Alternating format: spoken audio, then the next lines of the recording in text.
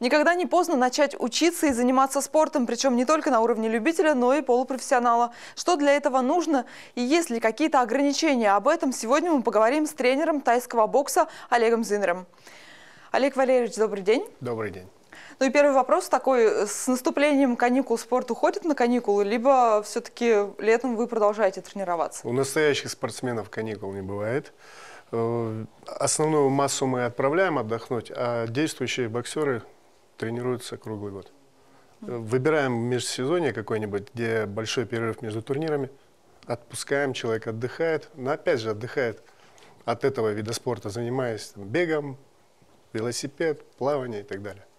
Ну, то есть все-таки с наступлением осени большой сезон тоже начинается? Да, да. У нас, у нас если считать, э, получается, летом только в июне можно отдохнуть. И то не сильно. Потому что июль-август чемпионат страны, отборочные, работа полным ходом.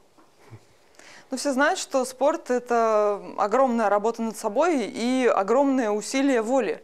Вот как, э, что можете сказать, как вообще заставить себя изначально встать с дивана и хотя бы пару кругов по стадиону пробежать? Во-первых, это правда, это большой труд. И для этого нужно большое желание. Э, захотел, свернешь большие горы. А если ты не хочешь, заставляй, не заставляй, бесполезно. Полюбить должен это. Ну а, как правило, детей приводят к нам, они сначала не понимают, что это, кто это, зачем это. Проходит время, влюбляются в наше дело, и все, их за палкой не выгонишь. Наркотик. А вот если о детях говорить, приводят к вам ребенка, сразу видно, из кого можно действительно хорошего спортсмена воспитать?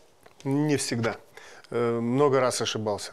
Казалось бы, человек, смотришь, ну далекий, далекий, и фигура, и, не знаю, медлительный.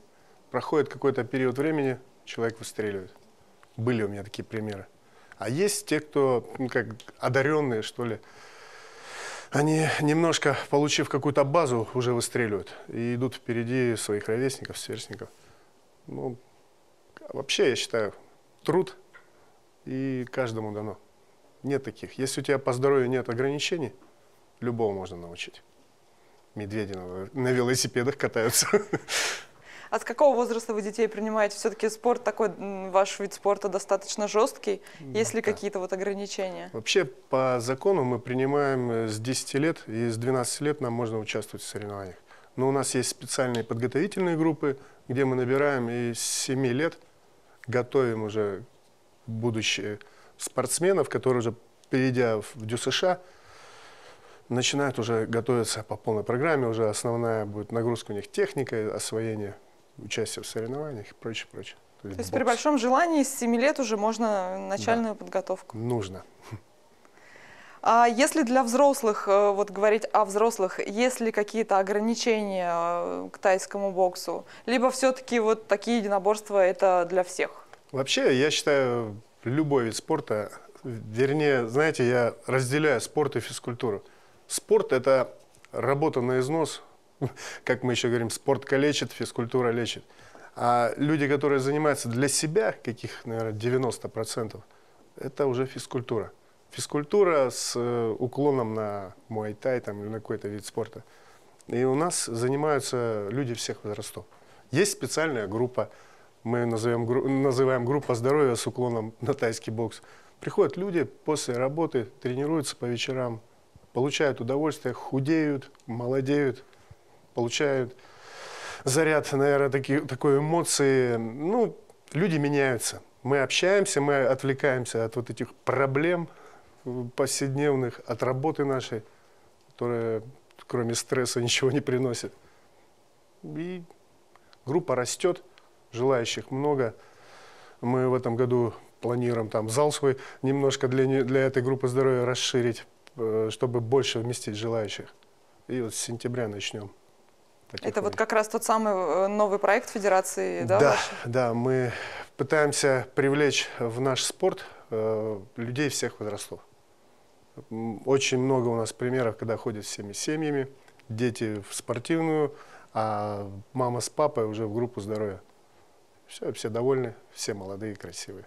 А насколько жесткая у них программа тренировок вот у, у тех, кто занимается в этой группе здоровья? В группе здоровья там все смягченное, там больше, знаете, физкультура, может быть сказать, больше в удовольствие. Мы получаем нагрузку, и там уже определяется человек сам, хочет он вот этой вот жести, так называемой, выйти в ринг, э, попробовать себя в каких-то соревнованиях, либо он ходит для себя, для здоровья. Все, и мы уже определяем. Так, для каждого найдем, не знаю, интерес.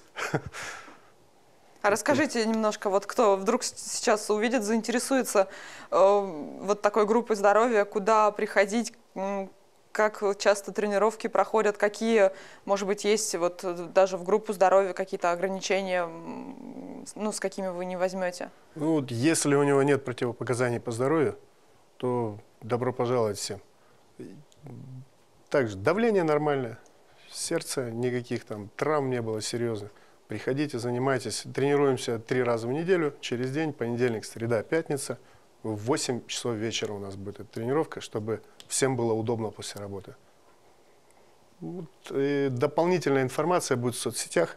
Уже после Дня города мы объявим, там будет телефон, куда можно будет позвонить, узнать, уточнить. Все расскажем, покажем. Уже есть желающие? Да, достаточно. То есть, возможно, придется несколько групп открывать.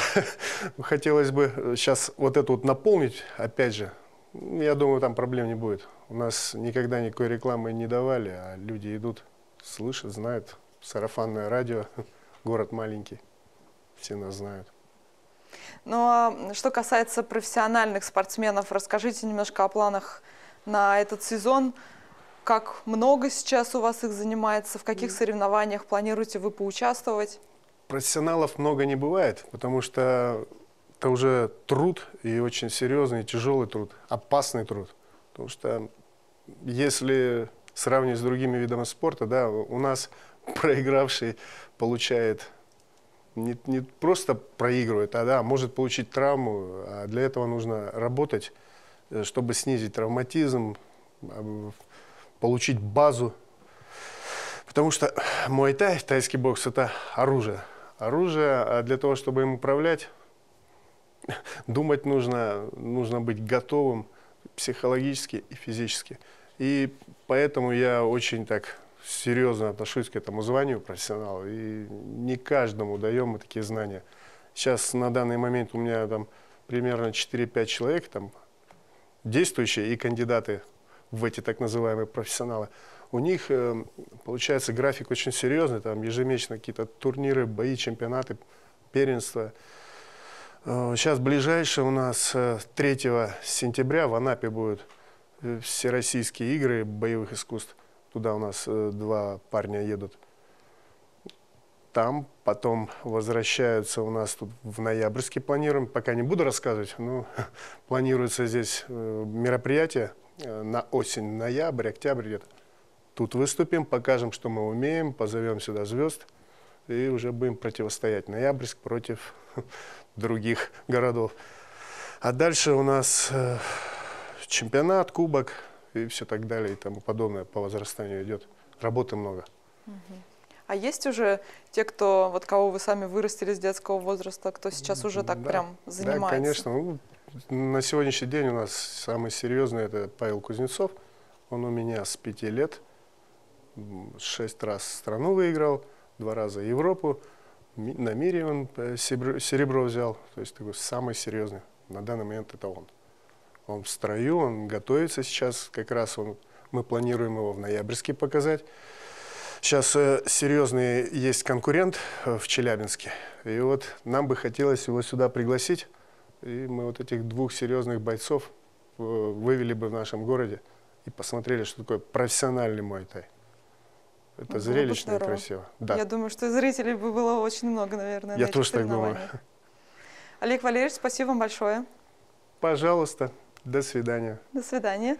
А я хочу напомнить, наша студия открыта для всех. Если у вас есть интересная тема для разговора, мы готовы ее обсудить. Телефон редакции 49 99 40.